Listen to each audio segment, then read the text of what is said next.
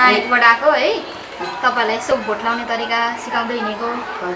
तपाईँहरूको अब अमूल्य समय चाहिँ होइन त्यो भोटमा अब कति दिन खर्चिदिनु होला भनेर अब भोट खेल्न जाओस् भन्दै चाहिँ यसो सा सामान्य जानकारी गराउँदै हिँडेको।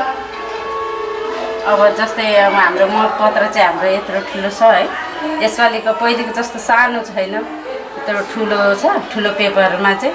हाम्रो यो पाँचजनाको ग्रुप यो धर्का छ यो जुन धर्का देखिराख्नु भएको छ नि त्यहाँदेखि चाहिँ यताको चाहिँ अब अध्यक्ष उपाध्यक्ष वडा अध्यक्ष महिला सदस्य दलित महिलालाई चाहिँ हामीले यसो ठाडो दिन पाइँदैन।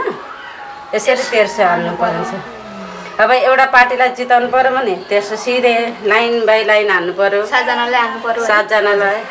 यहाँ पाँचजनालाई यहाँ चाहिँ दुईजनालाई हाल्नु पऱ्यो होइन म विभिन्न पार्ट विभिन्न पार्टीलाई दिन्छु ए काङ्ग्रेसलाई एमालेलाई माओवादीलाई दिन्छु भन्दाखेरि यस्तो क्रस गरेर क्रसले हुन्छ। अब जस्तै अध्यक्षलाई एक ठाउँमा हाल्यो भने अब उपाध्यक्ष अर्कोलाई अनि वडा अध्यक्ष अनि महिला सदस्य अनि दलित महिला। अनि वडा सदस्यहरू। अब यसरी यसरी गर्दा पनि हुन्छ यसमा।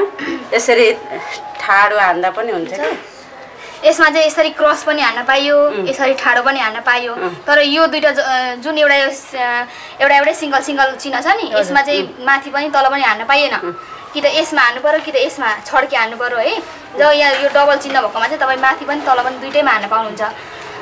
यसरी सिङ्गल हान्न पनि पाउनुहुन्छ। यसमा चाहिँ माथि तल दुइटै यसमा चाहिँ माथि पनि तल पनि हान्न पाएन कि त क्रस हान्नु पऱ्यो अनि यो हाम्रो चाहिँ स्याम्पल मात्रै हो मतपत्र होइन भोलि पर्सि ओ- चिन्ह चिन्हसहित भएर आउँछ नि भोलि पर्सि अनि त्यहाँ अब जस्तै एकछिनको लागि यो रुख भयो भने रुख सूर्य अब हँस हतौडा भयो भने यस्तो लाइन नै आउँछ कि। त्यही भएर। एउटै पार्टीलाई जिताउनु पऱ्यो भने यसरी सातजनालाई लाइन हान्नु पऱ्यो अब यहाँ। अनि यो हान्दाखेरि यो स्वस्तिक छाप हुन्छ नि। यस्तो।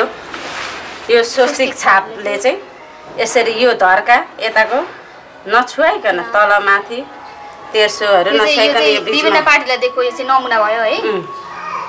यो चाहिँ यहाँ सिधा सिधा। यसरी हाल्नु होला एउटै पार्टीलाई जिताउनु पऱ्यो नि होइन विभिन्न जात अब यो पार्टी पनि आएको थियो। मलाई भोट माग्न त्यो पार्टी पनि आएको थियो। सबैको मन राखिदिउँ न त। भनेर तपाईँहरूले भन्नुभयो भने। अब यसरी नै विभिन्न पार्टीलाई त्यसरी। अब एकछिनको लागि अध्यक्षलाई एकजनालाई एउटा पार्टीलाई दियो उपाध्यक्ष अर्कोलाई दियो वडा अध्यक्ष अर्कोलाई दियो अनि महिला सदस्य एउटालाई दियो दलित महिला अर्कोलाई। हो त्यस्तै विभिन्न पार्टीलाई दिनु पर्यो। होइन एउटै पार्टीलाई दियो भने अनि यसरी सिधा तेर्सो लाइनै सातजनालाई सात ठाउँमा हाल्नु पर्यो। भन्दै अनि? बदर चाहिँ यहाँ हेर्नुहोस् है। यो छ नि यो यो मेन यो धर्का छ नि। धर्काको यता स्वस्तिक छापले यहाँ छुइएको छ नि। छुयो भने। चाहिँ यहाँ हेर्नु यहाँ छुयो भने चाहिँ यसरी बदर भयो। अनि होइन यो बिचमा यस्तो यस्तो धर्का देख्ने यो बिचमा हाल्नु भने पनि बदर हुन्छ।